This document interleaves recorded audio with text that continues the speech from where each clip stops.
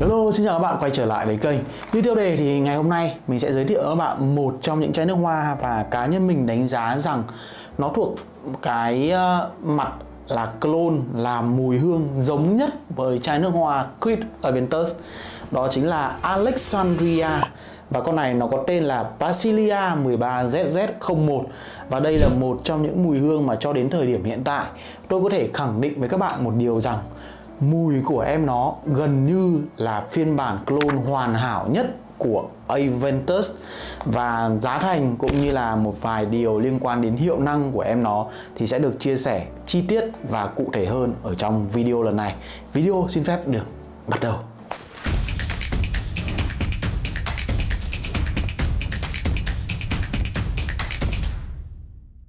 Đầu tiên thì chúng ta vẫn phải nhắc qua một chút về Aventus. Đây là ông vua nước hoa nam. Không chỉ riêng ở Việt Nam mà ở trên thế giới thì chai nước hoa Aventus này cũng là một trong những cái chai nước hoa có lẽ rằng là nổi tiếng nhờ marketing, thậm chí rằng còn marketing theo một chiều hướng quá đà. Một vài cái thông tin mà mình đọc được ở trong cuốn God Perfume thì cái hình ảnh của quyển sách đấy ở đây thì các bạn nào nếu như muốn biết sự thật đằng sau cái chai nước hoa đình đám Quýt ở bên tớt này, cũng như là cái sự thành công của thương hiệu Quýt, thì các bạn có thể mua quyển sách đấy về đọc nó có khá là nhiều điều hay ho cũng như là những cái góc nhìn thực tế hơn về ngành công nghiệp nước hoa. Nhà quyết này thì họ đã nổi tiếng về cái câu chuyện là bad code rồi. Nhưng mà bên cạnh đó thì người ta còn sử dụng những ờ, tên tuổi của những người đã chết hoặc là sắp chết để có thể PR cho những cái sáng tạo nước hoa của mình mà không hề bị kiện cáo. Thực ra thì ờ, trong cái cuốn sách mình đọc thì người ta nó cũng nói về những cái lý do mà tại sao không bị kiện. Đại khái là cũng giàu và nhiều tiền. Và những sáng tạo của Quýt ấy trong cái thời gian mà trước đây thì cũng không hề ghi perfumer là ai. Nhưng mà sau này khi mà cái việc mà thông tin ở trên nền tảng xã hội nó phát triển hơn thì nhà quyết này họ đã để thêm tên của perfumer ở đằng uh, giới thiệu về chai nước hoa quyết Aventus thì các bạn cũng có thể tìm hiểu thêm cái này hoặc là lên Fagantica các bạn search thôi là sẽ ra được ai là người trực tiếp làm mùi. Còn uh, Oliver quyết là người đứng sau thành công của Aventus thì ông ta cũng chỉ nói đơn giản là, là ông ta là người cảm nhận được mùi hương đấy. Ông ta nhìn thấy thị trường ông ta marketing và ông ta đưa thêm nguồn nguyên liệu cho perfumer. Uh, một vài cái cái thì các bạn có thể đọc chi tiết hơn ở trong cái cuốn sách đấy thì mình sẽ không nói đến nữa. Ở Việt Nam thì các bạn cũng biết rằng là chúng ta đã có cái câu chuyện là tìm rất nhiều clone hoàn hảo của Aventus. Cái hồi đầu khi mà mình được biết tới cũng đơn giản là giới thiệu đến mọi người chai nước hoa Supremacy Silver của nhà Abden rất nhiều view ở thời điểm đó. Sau này thì chúng ta có những cái tên như là chai nước hoa ờ, uh, Hasivat cũng gọi là một cái phiên bản clone hồi mới xuất hiện ở thị trường Việt Nam rồi sau đó đến Club de Nui, rồi đến Club de Nui phiên bản Limited. Và với cá nhân mình thì Club de Nui Limited là một cái phiên bản làm clone khá tốt cho đến khi Alexandria cho ra mắt Basilia 13ZZ01 thì tôi có thể khẳng định luôn như đầu video tôi có nói về phần mùi hương thì Basilia làm xuất sắc và cực kỳ phù hợp với khí hậu của người Việt Nam, đặc biệt là túi tiền của những người chưa có điều kiện hoặc là không muốn bỏ quá nhiều tiền để mua Aventus.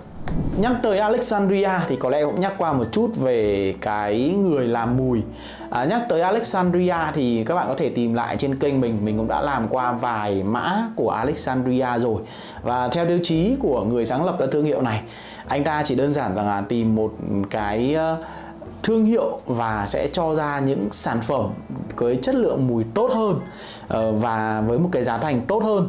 Nhưng mà với cá nhân mình ý, thì mình thấy rằng là Alexandria chỉ làm tốt ở nhóm mùi citrus và hoa thôi, clone của những cái con nổi tiếng. Còn đối với những e cái chai mà mình đã được ngửi ví dụ như kiểu là Bocklin Fagan hay là Dark Knight hay là The Godfather, thì đấy đều là những cái mùi hương làm và giống với những mùi nổi tiếng nhưng mà có thiên hướng nghiêng về mùa đông hoặc là nốt hương kiểu mạnh mẽ, nồng nàn.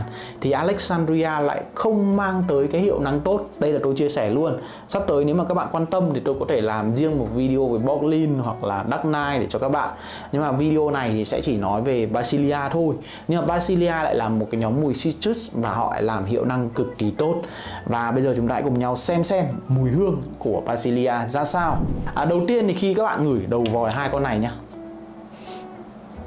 Trời ơi các bạn thấy nó y hệt nhau Thậm chí rằng Basilia còn dày hơn. Và trên tay mình đây thì là Aventus phiên bản 19P01 Nó là một cái phiên bản cũng là đời sau rồi. Nhưng mà với Basilia khi mà mình gửi đầu vòi Tôi nói thật là tôi nghĩ tới những chai nước hoa Quýt Aventus nó rơi vào tầm lô 13, 14, 15 cực kỳ giống luôn giống một cách đáng sợ. Và tôi đã ra một câu hỏi rằng nếu như bây giờ tôi đi mua Quýt Aventus với một chai này mà cái vỏ của nó có thể là ghi bản 13 hoặc bản 15 nhưng mà ở dui ở trong lại là Alexandria Basilia thì có lẽ tôi sẽ tin sái cổ mất. Thực sự luôn rất đáng sợ. Trời ơi cái công nghệ mà làm clone bây giờ lên đúng tầm cao mới cái máy GCMS ấy là cái máy quang phổ sắc khí ấy, nó có thể cho ra chính xác được nguồn nguyên liệu và sau đó thì qua nhiều phép thử khác nhau thì các bạn có thể cho ra được cái tỷ lệ giữa các nguyên liệu như thế nào cho phù hợp.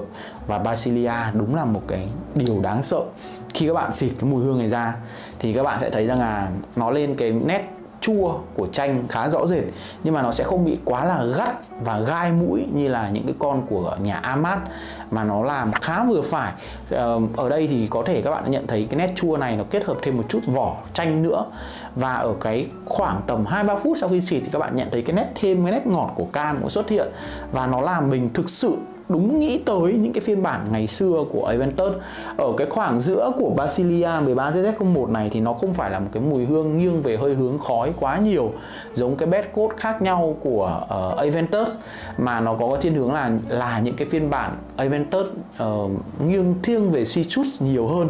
Và ở cái phần mùi hương ấy thì cái nét khói nó không quá là dày đặc uh, khó ngửi như là cái con Club de Nuit Limited.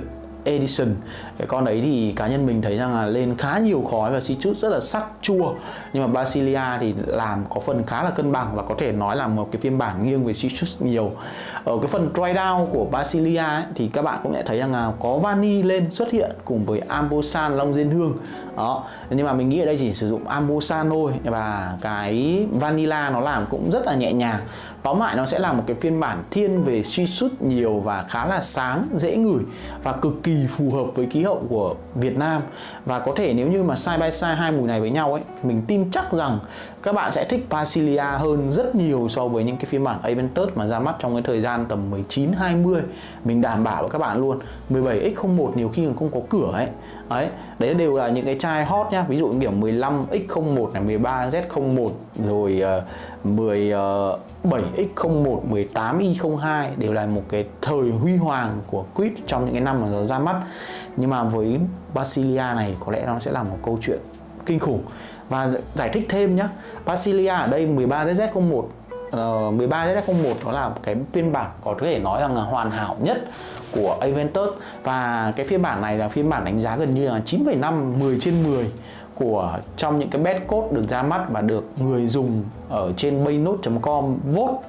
Và mình cũng rất là vinh dự khi là một trong những người đã từng cầm và thử qua 13ZZ01 nhưng mà sau này vì thực sự là cái giá thành của nó quá cao và cái lợi nhuận mà mình, khi mà mình mua được chênh lệch của chai nước hoa đấy quá nhiều nên là mình đã pass sang tay cho một người yêu Aventus. Và anh ấy đến thời điểm hiện tại như anh vẫn giữ chai nước hoa đấy. Và mình có thể khẳng định rằng Pasilia 13ZZ01 không giống với cái phiên bản 13ZZ01 của Aventus, nhưng nó sẽ giống với những phiên bản tầm 15 thế nên là riêng và xét về phần mùi thôi, thì mình có thể tự tin nói với các bạn rằng Basilia của Alexandria là một chai nước hoa rất đáng mua và có thể nói đến thời điểm hiện tại, mùi hương của em nó là mùi hương clone tốt nhất của Aventus cho đến bây giờ. Chắc chắn với các bạn luôn cô đảm bảo là nếu như mà kể cả ông nào chơi nước hoa mà cho hai cái viral ra xong rồi các bạn xịt mà các bạn không biết tên ấy, thì khẳng định rằng là nhiều người sẽ tin đây là Aventus, chứ đây không phải là một cái phiên bản clone. Rồi, cái tiếp tới sẽ là cái hiệu năng. Đây cũng là một trong những cái vấn đề cực kỳ quan trọng mà nhiều người lưu ý. Thì Basilia 13ZZ01 tỏa tốt và lưu tốt, phải gọi là hoàn hảo. Thực sự luôn là một cái phiên bản clone hoàn hảo mùi đã làm rất tốt rồi nhưng hiệu năng của nó thì cũng không kém cạnh. Em này ở trên da mình tỏa tốt trong khoảng tầm 3 tiếng đồng hồ và cái độ tỏa tầm hơn nửa cánh tay một tí. Còn về độ lưu hương của Basilia 13ZZ01 thì khẳng định một điều nữa là lưu trên da trung bình tầm 7 tiếng và hơn 7 tiếng không bao giờ có chuyện yếu hơn. Mình có xịt vào một cái áo khoác màu nâu à màu kiểu uh, rêu mình hay mặc thì sau khi mà mình à mình xịt vào tay, xong rồi mình mặc cái áo khoác ấy lên, và cái áo khoác đấy hai ngày rồi vẫn còn mùi ở đúng cái chỗ mà mình xịt Basilia 13ZZ01 thế nên là riêng về độ lưu hương thì phải nói rằng em này ăn đứt những phiên bản 20 21 của Aventus chắc chắn luôn. Và ui với một cái giá thành lại còn rẻ nữa. Trong khi đó thì Aventus thì càng ngày càng lên giá. Các bạn biết rồi, đúng không? Lên giá vãi xoài luôn thậm chí rằng là cho ra mắt phiên bản kỷ niệm. Rồi vừa rồi thì uh, Quid có ra phiên bản Absolute. Uh, Absolute thì hôm nào tôi sẽ nói sau tại vì tôi cũng có phiên bản clone uh, Basilia Absolute của Quid Aventus Absolute ở đây luôn. Thế hôm nào rảnh thì tôi sẽ thẩm kỹ và tôi sẽ nói qua. Nhưng mà công nhận Alexandria làm clone đỉnh nhanh mà lại còn kiểu nhiều mẫu mã lựa chọn giá thành lại rẻ thì uh, mùi hương này nó cũng sẽ có cái phong cách tương đồng so với Quid Aventus nhưng mà những bạn nam nào tầm 23 đến 25 tuổi đổ ra đang tìm một mùi cam chanh cũng như là dry down thì lên được cái bay hơi ngọt của vanilla ấm gỗ thì các bạn hoàn toàn có thể mua em nó xịt được mùa hè mùa xuân, mùa thu. Với mùa đông nếu bạn có thể tăng cường liều lượng xịt hơn và cũng xứng đáng là một trong những chai nước hoa có thể xịt được quanh năm ở khí hậu Việt Nam từ Sài Gòn cho đến Hà Nội đảm bảo với các bạn luôn.